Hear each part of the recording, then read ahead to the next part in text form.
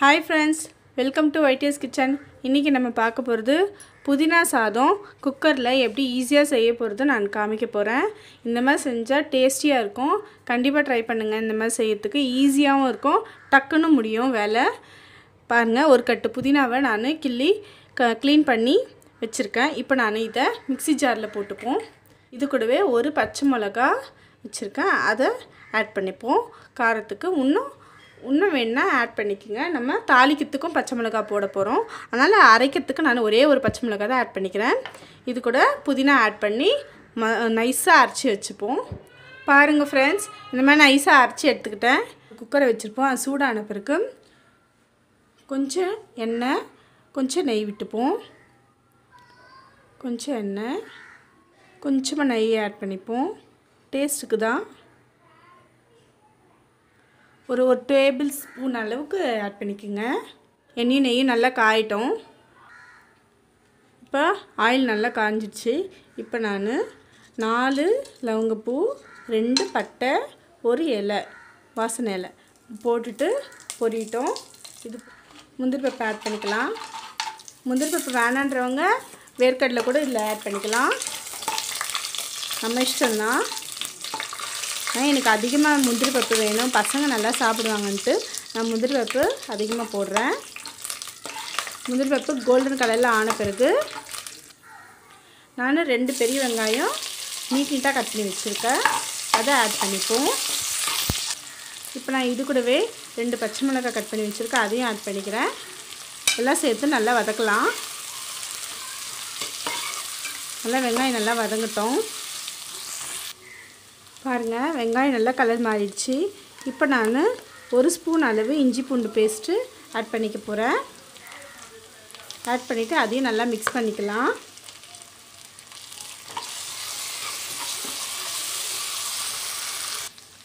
இஞ்சி பூண்டு paste வதங்கியாச்சு. Smell போகிற வரைக்கும் நல்லா வதக்கிக்குங்க. இப்போ நான் புதினாவை அரைச்சி வச்சுருக்கேன் பார்த்தீங்களா அதை புதினாவும் மிளகாவும் பச்சை மிளகாவும் போட்டு அரைச்சி வச்சுருக்கேன். காரம் வேணுன்றவங்க இன்னும் கூட நீங்கள் தாளிக்கும் போதோ இல்லை அரைக்கும் போதோ கூட ஆட் பண்ணிக்கலாம். எனக்கு இந்த காரம் போதும்னு நான் விட்டுட்டேன். இப்போ நம்ம இதை ஆட் பண்ணிப்போம். இதை ஆட் பண்ணிவிட்டு நல்லா மிக்ஸ் பண்ணிக்கலாம். டீ சிம்லே வைங்க. வச்சுட்டு நல்லா வதக்குங்க இதை.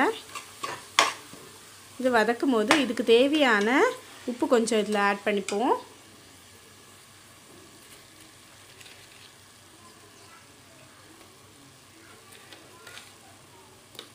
ஆட் பண்ணிட்டு அதையும் மிக்ஸ் பண்ணிவிட்டு கொஞ்ச நேரம் இந்த எண்ணெயிலே புதினாவை வதக்குவோம். நல்லா வதக்கிட்டே இருப்போம். டூ மினிட்ஸுக்கு நல்லா சிம்லே வச்சு நல்லா வதக்கலாம். பாருங்கள் எப்படி ஆயிடுச்சு. இப்போ நம்ம இது கூட தயிர் ஆட் பண்ணிக்க போகிறேன் தயிர் நல்லா ஒரு மூணு ஸ்பூன் அளவு ஆட் பண்ணிக்கோ பண்ணிவிட்டு அதையும் மிக்ஸ் பண்ணி ஆட் பண்ணிவிட்டு அதையும் மிக்ஸ் பண்ணிக்கலாம் நல்லா.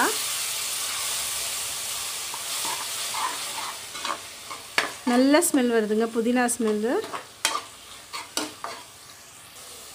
இப்போ நான் இந்த டம்ளரில் ஒரு டம்ளர் அரிசி எடுத்திருக்கேன்.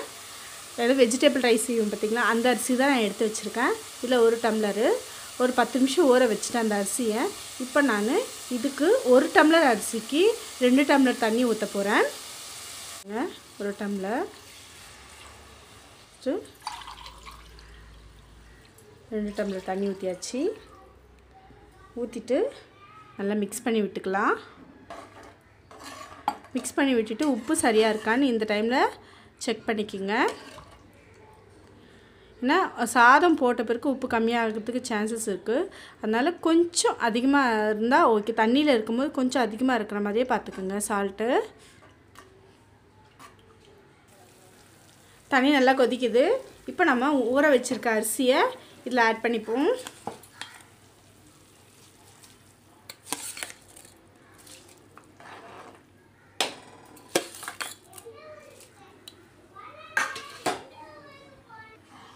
நல்லா மிக்ஸ் பண்ணி விட்டுட்டு இப்போ நம்ம க்ளோஸ் பண்ணிடலாம் குக்கரை பாருங்கள் வேறு எதுவும் ஆட் பண்ண போகிறதில்ல நம்ம. சுற்றி அந்த புதினாலாம் இருந்து இருக்கிறதெல்லாம் வந்து நல்லா பண்ணிக்கோங்க. இப்போ நம்ம க்ளோஸ் பண்ணி விட்டுட்டு ரெண்டு விசில் வந்தால் போதும்.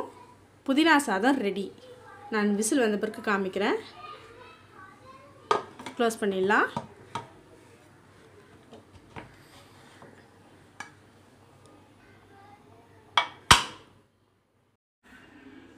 பாருங்கள் ரெண்டு விசில் வந்துடுச்சு. இப்போ நம்ம ஓப்பன் பண்ணுறோம் பாருங்கள் பார்க்கவே கலர்ஃபுல்லாக இருக்குது நல்லா வெந்துட்டுருக்கு. மேலே அந்த புதினாலாம் வந்து அப்படியே இருக்குது நான் அதனால் கொஞ்சம் மிக்ஸ் பண்ணிப்போம். ஸ்மெல்லு சூப்பராக இருக்குது கண்டிப்பாக இந்த புதினா சாதம் ட்ரை பண்ணுங்கள் நல்லாயிருக்கும் அவ்வளோதாங்க நம்ம புதினா சாதம் ரெடி இந்த வீடியோ உங்களுக்கு பிடிச்சிருந்தா லைக் பண்ணுங்கள் கமெண்ட் பண்ணுங்கள் ஷேர் பண்ணுங்கள் தேங்க்யூ ஃப்ரெண்ட்ஸ்